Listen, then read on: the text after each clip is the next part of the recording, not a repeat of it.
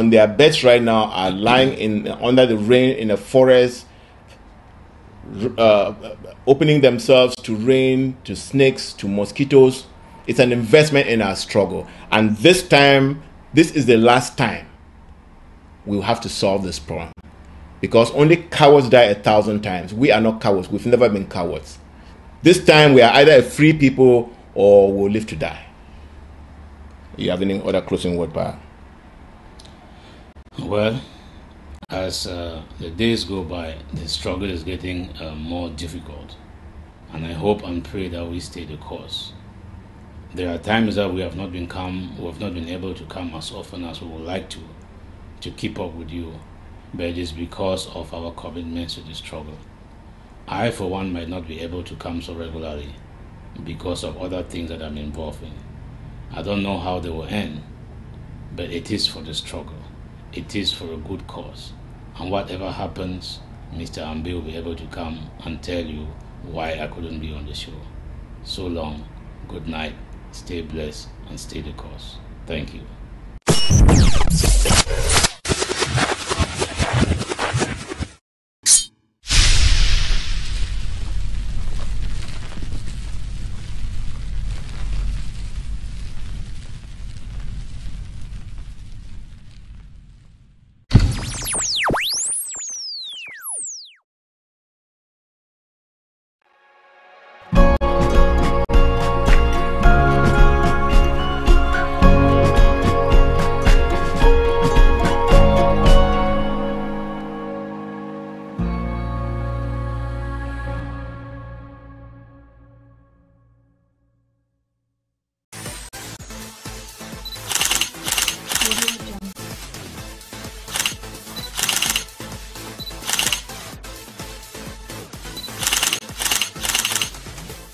The dignified people of southern Cameroons, my dear compatriots, throughout human history, a time comes in the life of a nation held in bondage like ours when its suffering peoples must stop and think of where they are coming from, reflect on why they are where they are, and figure out how to get to where they want to be.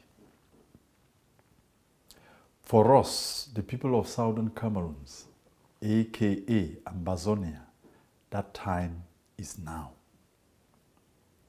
I realize, like all freedom driven Southern Cameroonians, that we come from a tortured history of hugely forced historical mistakes made by the colonial West and the United Nations.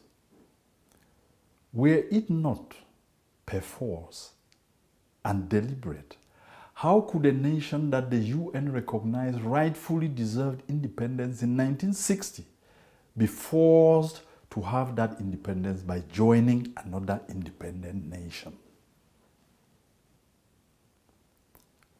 On profoundly reflecting and researching on why we are where we are and why we have conducted our nationalistic business in this lopsided way through our history, I have come up with some surprising conclusions after a critical analysis that few of us will have the courage to admit, talk less of the humility to accept. Throughout our tortured history, except for one occasion, which was the famous walkout from the Eastern House in Enugu in Nigeria to reconstitute in Buea. We have always been cowards on major national issues. Why? We have never had the collective courage to go all the way for what we want and what we deserve. We have been cowards because in this lack of courage, we like the easy thing. We like the convenient thing. We like the shortcuts and we like the quick fix. We have always lacked the spine, the stomach, and the will of steel to say a collective no when it mattered most for the life of our nation. Historically, we have shied away from the difficult, tough, and nasty task of nation building. That is why, from 1960 onwards, we allowed others to take decisions on our behalf. So they push us where they want us, pin us on, and make us serve their interests. In 1960 and 61, our leadership, despite all its good efforts, lacked the spine to stand up to the UN and say no to independence by joining. In 1961, at the Foumban Conference, they rushed to do the easy, quick fix thing, led our leaders to presume the goodwill of the French Cameroonian leaders in keeping a gentlemanly word rather than pin them down to put every single thing in black and white in writing. From 1965, we lacked the stomach to stand up to Ahidjo and say no as he dissolved our political parties to form a one party state. In 1972, we again lacked the backbone to tell Ahidjo and the French no as they dismantled the federal state and destroyed all our state institutions in southern Cameroon. This our historical lack of collective will and courage. Go all the, to go all the way for what we want and what we deserve has continually given way for others to choose what they think we should want. This has led us to this ugly and deadly place where we are and where our people are now being exterminated. But I would like to reassure you that this generation has mustered the courage and the will to get this job done. And it will get the job done. So, this generation is telling Biya, telling John Good and his long line of enablers, telling the UN, telling the French, and all who are now supporting this fraud on southern Cameroons no, no, no, and never again. It's game over. We are standing up to you, and this nonsense has to stop. And the best time to stop anything is always now. My dear compatriots, here we are in 2019, 58 years after this massive fraud was done on us as a nation. And throws another dry, broken bone called dialogue. And some of our naive people are falling over each other in a rush to go for it. They lack the courage to say no. The calculated aim of this move by Biya is to create confusion amongst us, divide us, buy himself time to let steam out of international pressure, while his soldiers are stepping up the genocide on our people. There is absolutely nothing this man can offer us southern Cameroonians. He is the reason we are where we are. We have no reason to be listening to this man and his followers. Let's not forget that he hates us. I know it firsthand. He does. He is our supreme killer and nothing more. The river of blood of the thousands of our compatriots he has taken, which includes babies, has swept away any trace of legitimacy he could ever have held over us as a people.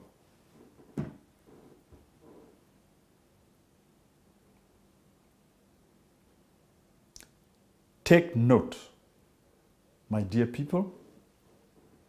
Biya does not want to solve any problem because if he did, the dialogue meeting he has called will not be taking place in Cameroon in the first place. Talk less of Yaoundé, his colonial capital. If you wanted to find solutions to these huge problems, would he wait for three years until his soldiers kill more than 6,000 of us before he reacts? And if his dialogue was about us, as they claim, what has he invited his whole nation of French Cameroon to come and do there? How can English Cameroon have huge problems and 92% of those he invites to look for solutions are French Cameroonians? What language will they use in the deliberations? If this was about us, I want to reassure you, he would be talking to us, Southern Cameroonians, and not to French Cameroonians. In fact, he would be talking to us in Buea. To begin with, these his invitees never saw anything wrong with the violence he unleashed that he unleashed by setting our soldiers on our people and they burned down several hundred villages killing women and children and driving 80 to 100,000 into Nigeria as refugees. What therefore will be their contribution in this process? For your information, knowing how this system works, he has invited all of them to complete the process of keeping us in chains. They are all coming there to prove that we count for nothing. He has brought them there to guide us on how to wear our newest slave chains and shackles, and nothing more. They are there to confirm their minister's word in 2016 that indeed we are two cubes of sugar that they've been trying to dissolve for 58 years. This is just another trick in the old book of oppression. It simply won't work. Not this time. Not ever again. These primitive French Cameroonian administrators most truly believe we are the last fools of the earth. We have had problems with these people for over 50 years, which have ended up in a three year war. Biya calls a meeting within two weeks. No preparations. To sit for four days. No possibility to discuss anything. And solve the problems of 58 years. And my people, they want us to believe them that they have done it to solve anything for us. What a shame. So they actually believe we can trust them all over again with our nation in 2019. What did they do with the trust our forefathers gave them from 1961? They were entrusted with the whole nation, its people, its lands, stretching from the Atlantic Ocean through the tropical forest to the savannas in the north. And what did they do with these lands and the people for 60 years? All they did was plunder the land, corrupt its people, imprison them, torture them, maim them, humiliate them, dehumanize them, enslave them, declare war on them, and finally are now practicing a genocide on them in an effort to exterminate them, with thousands already slain. We should be mentally deranged as a nation to think of having anything to do with people who treat us like the scum of the earth. In southern Cameroon itself, we have all witnessed the drama in this meaningless political circus run by the colonial duos and governors from La Republique as they list off supporters and enablers of the evil system for the charade. Groups of failed leaders, which includes traditional rulers, business magnates, con men, fraudulent civil servants, questionable women's groups, and politicians from both the ruling and opposition parties are scurrying around like hungry rabbits, dreaming of reviving their political fortunes by trying to take us, the nation of southern Cameroons, Ambazonia, one slavery, imprisonment, and death. This generation says, no, never again. Take note that these people are not going there on behalf of Southern Cameroons. They do not even represent you, the people. And this includes our supposed members of parliament, senators, mayors, and whoever who choose to look away or whisper in their armpits while the evil regime exterminated their own people. They do not even know why you, their people, are fighting to the death. So, whatever they will say there and do there will have no bearing on the people and on the land of Ambazonia. If anything, their words and actions there will inflame the people and worsen the violence. They are supporting this Biya fraud with the hope that he uses this assembly of charlatans to kill our revolution so that they can return to their old game of using the people for personal benefit. Never again. The people of Ambazonia have rebelled against you and their killers. My dear compatriots, we need to keep reminding Biya and the world that we are dealing here with the case of a stolen state. We brought the state of Southern Cameroons into a union with La République in 1961.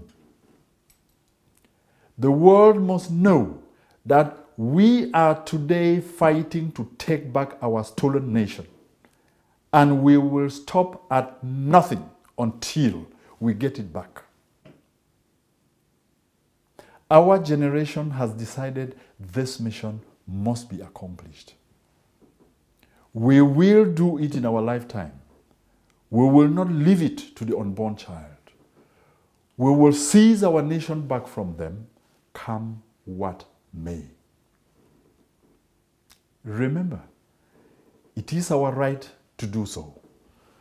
Remember, it is our collective responsibility to do so. Remember, it is a do or die. And remember, we, we, and that includes me, are ready to die doing it. To those of our brothers and sisters from southern Cameroons who have chosen to seek their fortune by looking at the easy outlet with the oppressor, we have a very strong warning for you all. Beware of the potent power of our blood spilled by these people. Beware. And do not dare stand on the way of the people's revolution. Do not take their blood on your feet to go and negotiate for whatever those people have called you for. As you all join our oppressors, remember that you and all the people with whom you will be sitting there did not start the Ambazonian revolution. So all of you, including Biya, lack the power to use this overblown distraction to end it. The brave Ambazonian soldiers who have held the revolution and brought the government to its knees are not there. So, this distraction will come and go. Like everything else, Paul Biya blows up, and the struggle will continue at high gear and in earnest. My dear compatriots, I would like to respond to one of Biya's provocative statements that the future of English Cameroons is with La République. I would love to state categorically and without reserve that the past of English Cameroon was with La République for 57 years and has now ended as he is trying to drown us in our own blood with a brutal genocide. He should take this from me and from the dignified people of Ambazonia that the future of Southern Cameroons is with herself as a free, independent, and democratic nation called Ambazonia, lying west of the Gulf of Guinea.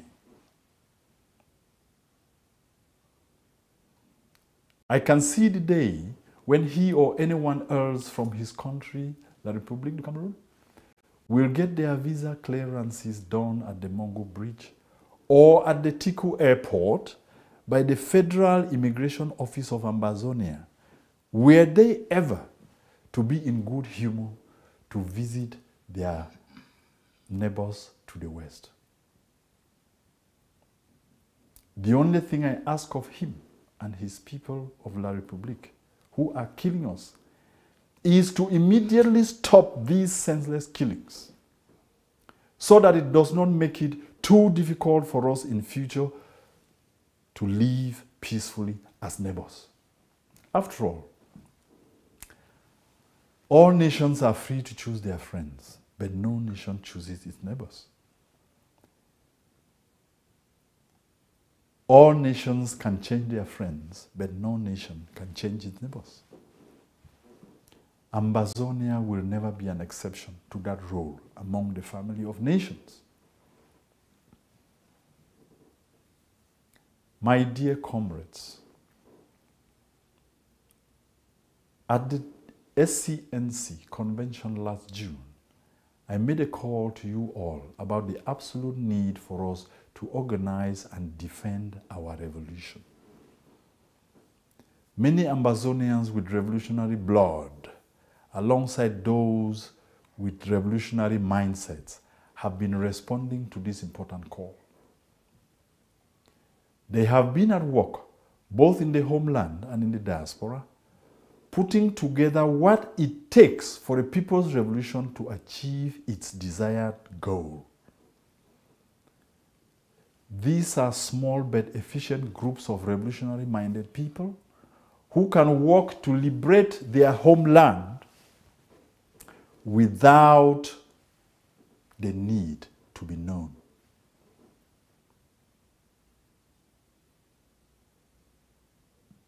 I would like to reassure you that this revolutionary group expects no reward from whoever apart from the success of our revolution. They are ready to give what it takes for us to be free.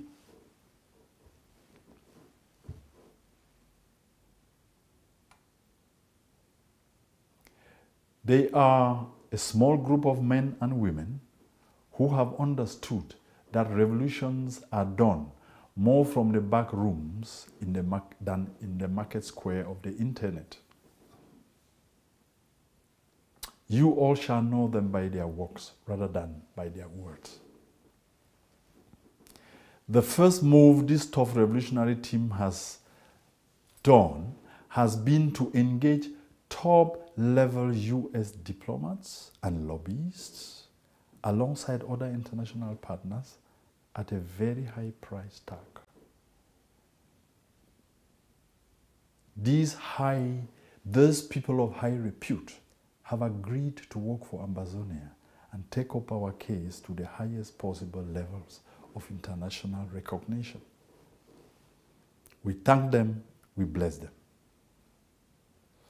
My address today is principally to reassure you, the Southern Cameroonian people, that our struggle is on course. Our revolution is now very well grounded in the homeland, and it is only a matter of time before we reach our goal. We are not just doing well, I can assure you, we are doing very well indeed. Freedom is near, but remember, freedom is never free. Freedom is here for us to fight and take because in this highly dangerous freedom business, nobody does it for you. You either do it for yourself or you perish. We are blessed that this generation has chosen to do it for Ambazonia. I salute our freedom fighters, aka the Amba boys and girls. You are the defenders of our people. You are the defenders of our land. You are the defenders of our freedom. And you are the reason we are still standing today as a nation. Despite the fact that a few bad grains have amongst you tried to bring disrepute to your earnest and valiant work. We have put everything in check to make sure that they weed out those bad elements. Remember, Ambazonia shall live and shall owe her life to you and to the thousands of our brave fallen heroes. Thank you all very much. God shortened the struggle of Ambazonia. God will continue to bless Ambazonia. Thank you all.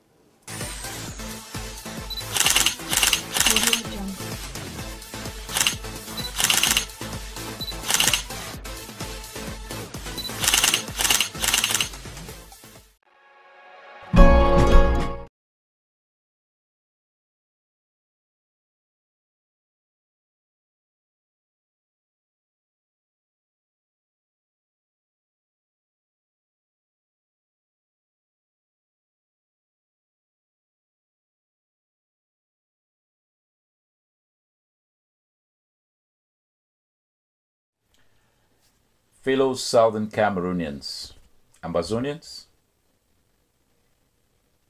good evening.